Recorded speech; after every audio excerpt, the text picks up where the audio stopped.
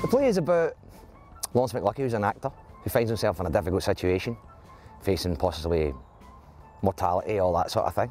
And in this situation, he finds it difficult to keep quiet. And so he starts to talk and reflect on his life. Lawrence McLuckie is an unemployed actor, but a good actor who is at the hospital waiting on treatment.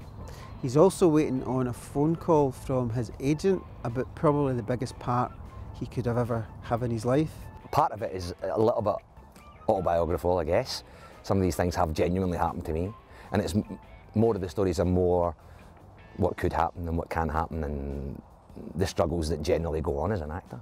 This is the Lucky 15. This is the bet that killed Lawrence McLuckie's granda, Pawnee. This is an opportunity to show how good an actor Martin Docherty is. So Martin Docherty plays maybe about 30 characters in, in the monologue. I think there's a there's comedy in it and then there's a little bit of sadness in it. But I hope people will come identify with him, enjoy themselves and, and go away thinking they've had a good night.